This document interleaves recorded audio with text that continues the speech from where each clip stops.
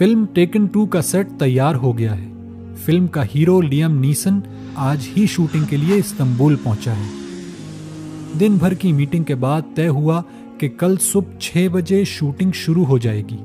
इसलिए तमाम क्रू जल्द सो जाए। सुबह पाँच बजे यकायक एक आवाज़ आना शुरू हो जाती है। लियम को समझ नहीं आ रहा कि यह आवाज़ कैसी है। दो मिनट तक ये आवाज़ आती रही और फिर बंद हो गई। चुनाचे लियम फिर सो गया। अगले दिन की शूटिंग ने लियम को थका दिया था और कमरे में आते ही वो सो गया। ठीक पाँच बजे सुबह फिर वही आवाज़ आना शुरू हो गई और दो मिनट बाद बंद हो गई। लियम बड़बड़ाकर फिर सो गया। वो दो हफ़्ते इन्हीं कैफियत से गुजरता रहा।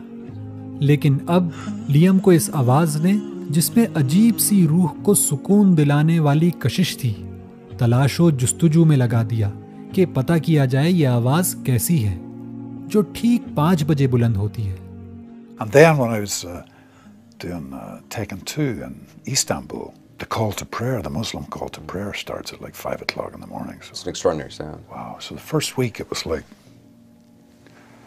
second week it was like, oh, it's kind of quite nice. But the third week I, I was totally captivated by it. Loved it. So then I thought maybe Islam's the answer. ये अजान की आवाज़ थी। इस अजान ने Liam के जहन और दिल पर इतना असर डाला कि वो ये कहने पर मजबूर हो गया कि मैं मुसलमान होने का सोच रहा हूँ। Islam is the answer.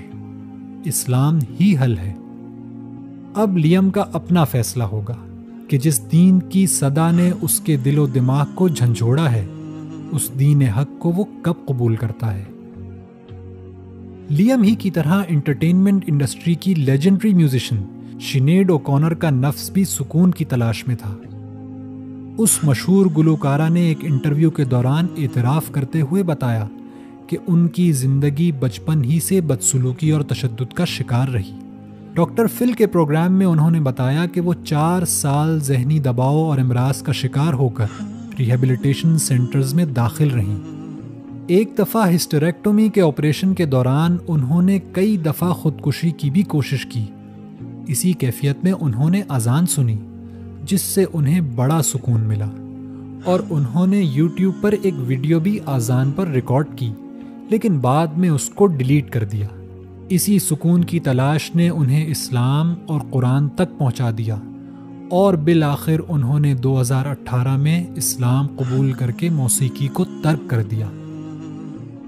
Hollywood की मशहूर अदाकारा लिंडजे लोहन ज़िंदगी में शोहरत और दौलत की बुलंदियों को छू चुकी हैं, लेकिन उनकी रूह अब तक सुकून की तलाश में थी।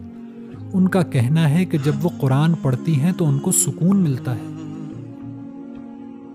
इंटरटेनमेंट इंडस्ट्री के इन तीनों मशहूर तरीन अशखास की तरह बेशुमार इंसान शोहरत और दौलत की इंतहाई मंजिलें देख चुके हैं, लेकिन उनकी रूहें बेसुकून हैं।